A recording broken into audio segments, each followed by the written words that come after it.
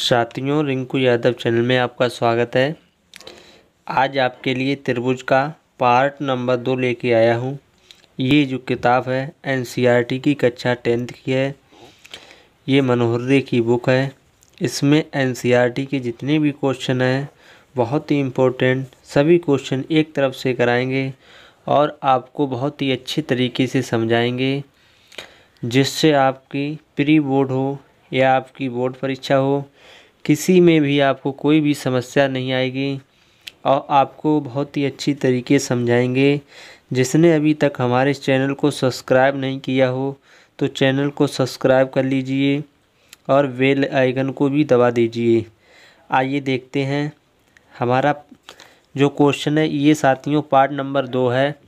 जो हमारा ये छठा क्वेश्चन है, दी हुई आकृत में डी ई समांतर ए सी और डी एफ़ समांतर ए ई है। सिद्ध कीजिए कि डी, बी एफ़ समांतर एफ़ ई बराबर बी ई समांतर ई सी। यहाँ पे सबसे पहले साथियों दिया दिया है लिखेंगे। क्या लिखेंगे? दिया है। तो यहाँ पे दिया है दिया है दिया है। दिया है साथियों, इसमें हमें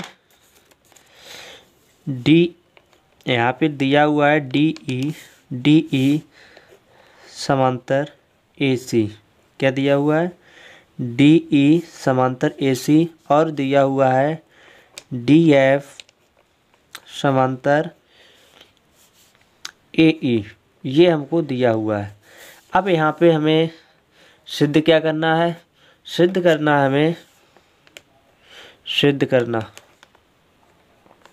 सिद्ध करना। साथियों, जो हमें सिद्ध करना है, वो सिद्ध करना है बी एफ़ समांतर एफ़ ई वी समांतर एफ़ ई बराबर वी ई समांतर ई सी अब यहाँ पे हमें क्या करना है? अब हम यहाँ पे डालेंगे उपपत्ति क्या डालेंगे? उपपत्ति उपपत्ति। उपपत्ति में लिखेंगे,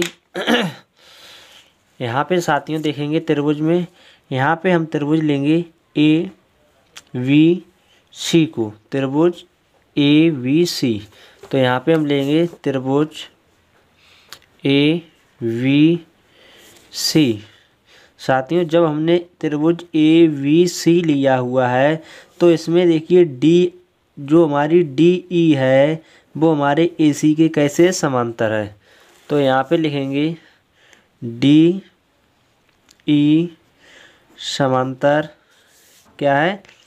ए सी है। डी ई समांतर ए सी रेखा हमारी है। अब यहाँ पे जब हमने लिया है ए वी सी त्रिभुज लिया हुआ है तो यहाँ पे साथियों, जो हमारा ए डी जो है वो हमारे किसके समांतर है? वी डी के है। इधर हमारा बी ई जो है वो हमारे किसके समांतर है? ई सी के। तो यहाँ पे हम लिखेंगे नीचे। लिखेंगे वी डी वी डी समांतर डी ए लिखेंगे। क्या लिखेंगे? डी ए इसी प्रकार से इधर लिखेंगे। F E B I sorry B E समांतर ई सी वी ई समांतर ई सी लिख लेंगे, इसे डालेंगे समीकरण नंबर एक। इसी प्रकार से हम क्या करेंगे? दूसरा त्रिभुज लेंगे। दूसरा त्रिभुज जो होगा, वो कौन सा होगा? यहाँ पे लेंगे त्रिभुज ए वी ई को लेंगे। त्रिभुज ए वी ई को। तो यहाँ पे त्रिभुज लेंगे हम। त्रिभुज ए वी ई त्रिभुज ए वी ई लेंगे। इसमें देखेंगे, इसमें हमारा क्या समांतर है? इसमें जो समांतर है, वो हमारी डी एफ़ जो रेखा है डी एफ़ रेखा है, वो हमारे ए ई के समांतर है। तो यहाँ पे नीचे हम लिख लेंगे, नीचे लिखेंगे डी एफ़ समांतर क्या है? ए ई ये लिख लेंगे। और साथियों, यहाँ पे त्रिभुज में देखेंगे, त्रिभुज में जब हमने ये वाला त्रिभुज लिया हुआ है तो यहाँ पे देखेंगे डी जो है, वो हमारा डी ए के समांतर है और बी एफ़ जो है, वो हमारे एफ़ ई के समांतर है। ये हम यहाँ पे लिख लेंगे। तो यहाँ पे लिखेंगे वी डी समांतर डी ए बराबर वी एफ़ समांतर, क्या लिख लेंगे यहाँ पे? एफ़ ई इसे डालेंगे समीकरण नंबर दो। क्या डालेंगे इसे? इसे समीकरण दो डालेंगे। अब समीकरण एक और समीकरण दो की क्या करेंगे? तुलना करेंगे। समीकरण एक व समीकरण दो की तुलना करने पर, तुलना करने पर, तुलना करने पर जब इसकी हम तुलना करेंगे तो समीकरण एक व समीकरण दो में जो चीज़ समान होगी वो चीज़ हट जाएगी जो चीज़ समान नहीं होगी तो उसको हम लिख लेते हैं। तो देखते हैं इसमें बी डी और डी ए वी डी और डी ए हमारे दोनों में समान तो ये हट जाएगा। हमारे पास ये बचा हुआ है और हमारे पास ये बचा हुआ तो इसको हम लिख लेंगे। तो सबसे पहले हम क्या लिखेंगे? पहले हम लिखेंगे इस वाले को। तो यहाँ पे जब नीचे लिखेंगे तो हमारा हो जाएगा वी एफ़ वटे एफ़ ई बराबर। फिर इस वाले को लिख लेंगे तो हमारा हो जाएगा बी, ई समांतर, क्या है? ई, सी। साथियों, यही हमको सिद्ध करने के लिए कहा गया था तो ये हमारा क्या हो गया? सिद्ध हो गया। ये क्या हो गया हमारा? सिद्ध हो गया। यही हमें सिद्ध करने के लिए कहा गया था। साथियों, आपको ये सवाल अच्छा लगा होगा। आइए इसी तरीके से हम दूसरा सवाल लगाते हैं, जिसने अभी तक हमारे चैनल को शेयर नहीं किया है तो चैनल को शेयर कर ली, कर दीजिए, जिससे कि सभी साथियों को आपके फ़ायदा पहुँचे और सभी को परीक्षा में हेल्पफुल हो आइए अगला सवाल इसी तरीके से देखते हैं। साथियों, अगला सवाल है, दी हुई आकृति में डी ई डी और ई समांतर ओ क्यू ओ क्यू साथियों, ये रेखा यहाँ पे नहीं बनी हुई है, ये गलती से बन गई है। ओ क्यू तो ओ क्यू और डी एफ़ डी एफ़ समांतर ओ आर है। समांतर ओ आर है तो दर्शाइए ई एफ़ ई एफ़ समांतर क्यू आर होगी।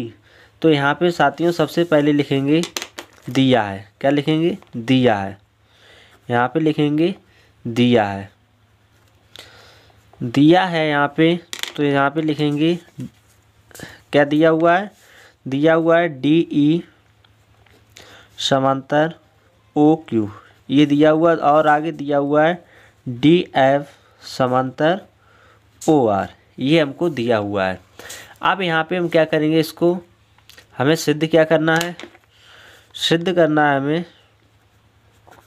सिद्ध करना सिद्ध करना है हमें ई एफ़ समांतर क्यू आर ये हमको सिद्ध करना है। अब साथियों, यहाँ पे हम डालेंगे उपपत्ति। क्या डालेंगे? उपपत्ति। उपपत्ति में देखते हैं। सबसे पहले हम त्रिभुज कौन सा लेंगे? सबसे हम पहले हम त्रिभुज लेंगे पी क्यू ओ लेंगे। फिर इसके बाद हम त्रिभुज लेंगे पी ओ आर लेंगे। फिर इसके बाद हम लेंगे त्रिभुज पी क्यू आर लेंगे। तब हमारा ये सवाल जाकर पूर्ण रूप से लग जाएगा। आइए इसे हल करते हैं। सबसे पहले हम त्रिभुज ले ले लेते हैं पी क्यू आर को। तो यहाँ पे लेंगे त्रिभुज P Q O, P, Q, O में। साथियों, पी, क्यू, ओ में जब लेंगे तो इसमें आप, आपको देखना है कि इसमें जो हमारी दी हुई है, डी, ई जो है, डी, ई जो है, वो हमारे ओ, क्यू के कैसे समांतर है। तो यहाँ पे लिख लेंगे, डी, ई समांतर, ओ, क्यू। किसकी है? ओ, क्यू के समांतर है। साथियों, यहाँ पे देखेंगे पी ई जो है, वो हमारे ई क्यू के समांतर है। तो यहाँ पे हम नीचे लिख लेंगे पी ई समांतर ई क्यू इसी तरीके से हम लिख लेंगे, यहाँ पर भी देखिए, ये वाली रेखा, ये वाली पी डी जो है, वो हमारे डी ओ के समांतर है। तो यहाँ पे लिख लेंगे पी डी पी डी समांतर डी ओ इसे हम डाल लेंगे समीकरण नंबर एक। इसे हम क्या डाल लेंगे? समीकरण नंबर एक। इसी तरीके से हम दूसरा वाला लेंगे। दूसरा वाला जो है वो हमारा कौन सा है? त्रिभुज पी ओ आर में। त्रिभुज पी ओ आर में। अब यहाँ पे हम लेंगे पी ओ आर में। साथियों पी आर ओ में लेंगे तो यहाँ पे देखेंगे पी एफ़ जो समांतर है वो हमारे एफ़ आर के है। पी डी जो समांतर है वो हमारे डी ओ के है। यही हमको इसमें लिखना है दूसरे वाले त्रिभुज में। तो यहाँ पे हम लिखेंगे दूसरे वाले त्रिभुज के लिए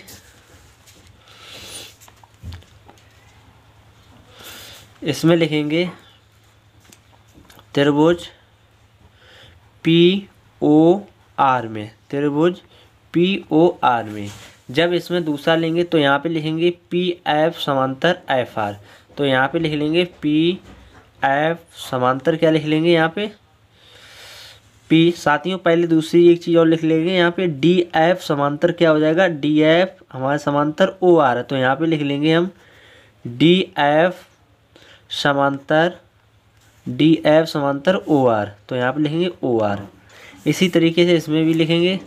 इसमें लिखेंगे पी एफ़ समांतर एफ़ आर। तो यहाँ पे हो जाएगा पी एफ़ समांतर सॉरी समांतर एफ़ आर।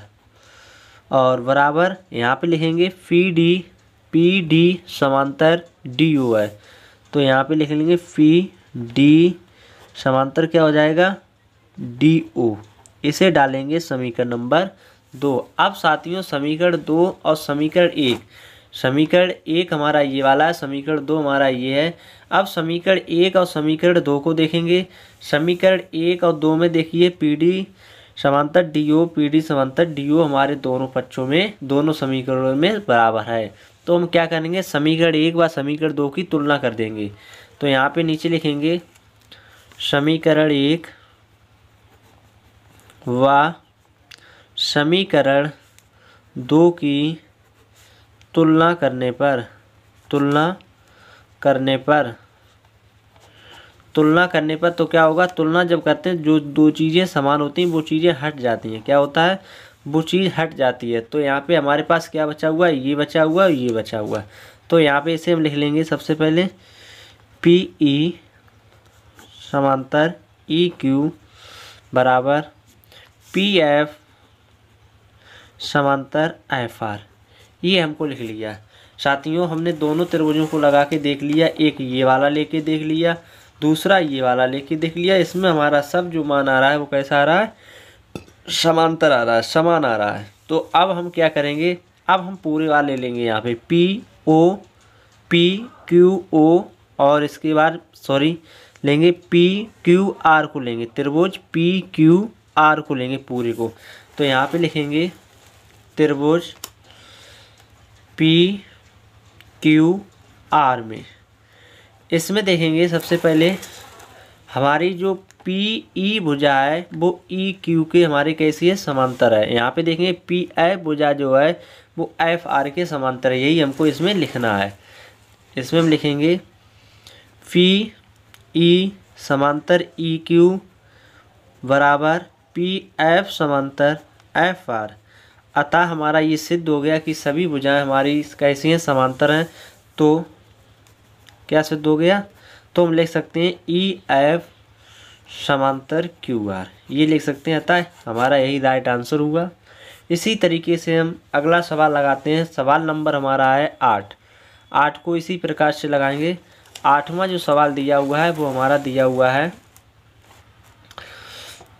ये दिया हुआ है, किसी समांतर चतुर्भुज ए बी सी डी का विकर्ण वी डी रेखा ए ई को बिंदु एफ़ पर प्रच्छेद करता है, जहाँ बिंदु ई भुजा बी सी पर स्थित है तो सिद्ध कीजिए कि डी एफ़ गुणे ई एफ़ बराबर एफ़ वी गुणे एफ़ ए है। यहाँ पे तुम्हें क्या करना है? सबसे पहले लिखना दिया है। क्या लिखोगे? दिया है। क्या लिखोगे? दिया है। अब दिया है में क्या लिखना है? ये भी आपको हम बताएँगे। दिया है में लिखना है किसी समांतर किसी समांतर चतुर्भुज ए बी सी डी का विकर्ण वी डी रेखा ए ई को बिंदु ए पर प्रच्छेद करता है। ये साथियों, आपको दिया है, मैं यहाँ पे लिखना है। कितना लिखना है? यहाँ से लेकर यहाँ तक आपको ये इसमें लिखना है। फिर इसके बाद आपको क्या करना है? सिद्ध करना डालना है। क्या डालना है? सिद्ध करना। सिद्ध करना है। सिद्ध करने में क्या लिखना है आपको? ये वाला लिखना है। यहाँ पे दिया हुआ है डी एफ़ गुणे ई एफ़ बराबर एफ़ वी गुणे एफ़ ए। ये आपको लिखना है। ये हमको क्या करना है? सिद्ध करना है इसमें। अब साथियों, यहाँ पे सबसे पहले क्या करेंगे? उपपत्ति करेंगे। क्या करेंगे? इसकी हम उपपत्ति करेंगे। उपपत्ति। उपपत्ति करेंगे। अब इसकी हम उपपत्ति करेंगे तो सबसे पहले देखिए त्रिभुज हम लेंगे। डी एफ़ ए में। त्रिभुज। पहले यहाँ पे कोण दिखा लेते हैं, इसके बाद हम त्रिभुज को लेंगे। तो यहाँ पे साथियों, देखिए, कोण जो हमारा एक है, ये कोण दो है। तो हमारा कोण एक जो है, वो हमारे कोण दो के कैसे बराबर है? क्योंकि ये दोनों हमारे एकांतर कोण है। कौन सा कोण है? एकांतर कोण है। ठीक है? ये दोनों कोण हमारे कैसे हैं? बराबर हैं। इसी प्रकार से देखेंगे, कोण तीन जो है, वो कोण चार के कैसे बराबर है? कोण तीन जो है, वो हमारे कोण चार के बराबर क्यों है? क्योंकि ये दूसरे के, एक दूसरे के कैसे हैं? विपरीत कोण है। कैसे कोण है? एक दूसरे के विपरीत कोण है। यहाँ पे हमने कोणों को लिख लिया है। इसके बाद हम लेंगे त्रिभुज ई वाला लेंगे। त्रिभुज डी एफ़ ए लेंगे। इधर हम त्रिभुज लेंगे बी एफ़ ई लेंगे। साथियों, ये दोनों हम त्रिभुज लेंगे। तो यहाँ पे सबसे पहले हम त्रिभुज लेंगे। त्रिभुज लिखेंगे त्रिभुज डी एफ़ ए और त्रिभुज वी एफ़ ई में। दोनों को लिख लेंगे। यहाँ पे देखिए, जब इसको लिखेंगे तो हमारा हो जाएगा डी एफ़ डी एफ़ समांतर क्या हो जाएगा? एफ़ ए क्या हो जाएगा? एफ़ ए इसी तरीके इसको लिखेंगे बी एफ़ वी एफ़ समांतर एफ़ ई अब यहाँ पे क्या करेंगे? इसका हम कैंचीदार गुणा कर देंगे। इसका गुणा इसमें, इसका गुणा इसमें करेंगे। जब इसका गुणा इसमें करेंगे तो हमारा ये क्या हो जाएगा? डी एफ़ गुणे एफ़ ई इसमें साथ दें तो कोई भी दिक्कत नहीं, एक ही बात है तो यहाँ पे लिख लेंगे ई e एफ़ बराबर, इसका गुणा इसमें कर लेंगे तो हमारा हो जाएगा V F sorry B F है तो इसे हम एफ़ वी लिख लें, कोई बात नहीं है, क्योंकि गुणा में ही है तो इसे हम एफ़ वी लिख लिया और गुणे, यहाँ पे हम लिख लेंगे इसे एफ़ ए। यही हमारा राइट आंसर हुआ। इसी प्रकार से एक सवाल बचा हुआ, उसको भी लगा लेते हैं। अगला सवाल हमारा है, ये वाला। ये सवाल है थेल्स के प्रमेय के अनुसार। दिया हुआ है, थेल्स प्रमेय का प्रयोग करके सिद्ध कीजिए कि एक त्रिभुज की एक भुजा के मध्य बिंदु से एक अन्य भुजा के समांतर खींची गई रेखा तीसरी भुजा के सम समद्विभाजित करती है। तो यहाँ पे सबसे पहले हम लिखेंगे दिया है। क्या लिखेंगे? दिया है। दिया है में क्या लिखेंगे?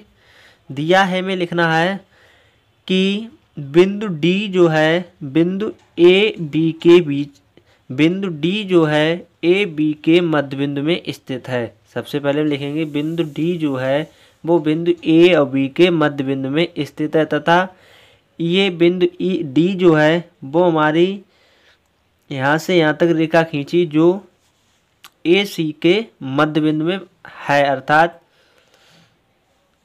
अर्थात इसे हम जो है कह सकते हैं, रेखा ए, सी को ये स्पर्श कर रहा है। तो यहाँ पे हम क्या लिखेंगे? आइए इसको हम लिखते हैं। बिंदु डी डी कामा डी है ए, वी का मध्य बिंदु मध्य बिंदु इतना हम लिख लेंगे यहाँ पे। डी जो है ए बी का मध्यबिंदु है। अगर और ज़्यादा बढ़ा के लिखें तो यहाँ से भी लिख सकते हैं। डी जो है ई के यहाँ से लाकर ए, ई के मध्य बिंदु तथा हमें सिद्ध क्या करना है? ये लिखना है। तो अब डालेंगे सिद्ध करना। क्या डालेंगे? सिद्ध क्या करना है? सिद्ध करना है हमें सिद्ध हमें ये करना है ई e जो है वो ए सी के मध्य में है क्या? ई e, कामा ए सी का मध्य बिंदु है मध्य बिंदु है। हमें ये सिद्ध करना है।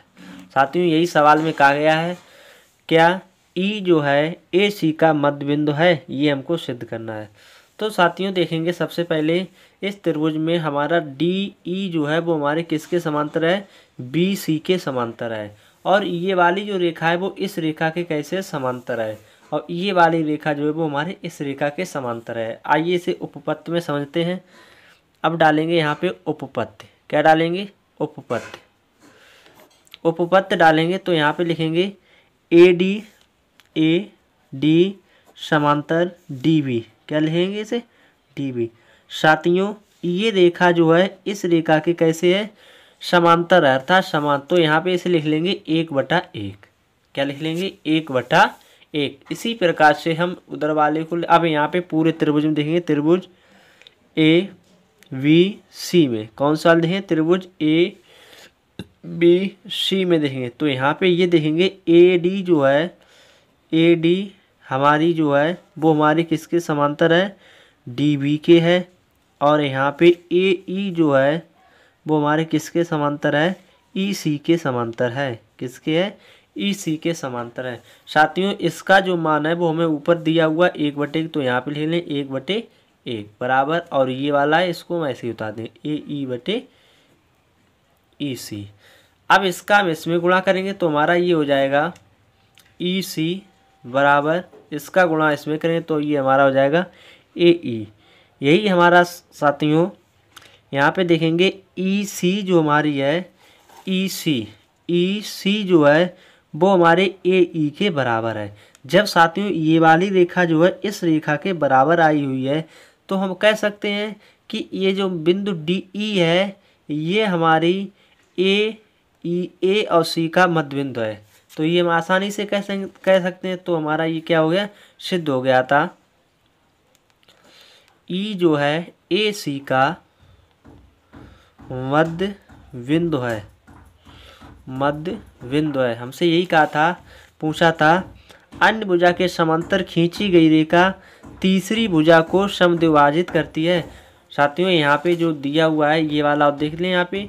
जो हमारा डी ई है, ये हमने कहीं पे नहीं लिखा। डी ई जो है, वो हमारे बी सी के समांतर। तो यहाँ पर हम लिख सकते हैं, इसे उपपथ में ऊपर ही लिख सकते हैं। डी ई समांतर बी सी साथियों, अगर आपको ये वीडियो अच्छी लगी हो तो हमारे चैनल को ज़रूर सब्सक्राइब कर लीजिए और इसे शेयर कीजिए, जिससे और साथी देख सकें। क्योंकि ये चाहे प्री बोर्ड हो, चाहे कोई सी भी परीक्षा हो, आपके लिए सभी के लिए ये लाभदायक होगी। और लाइव सेशन के लिए जुड़ने के लिए आपको रोज़ाना तीन बजे आना होगा। Thank you. मिलेंगे इसी टाइम आपको कल पुनः फिर।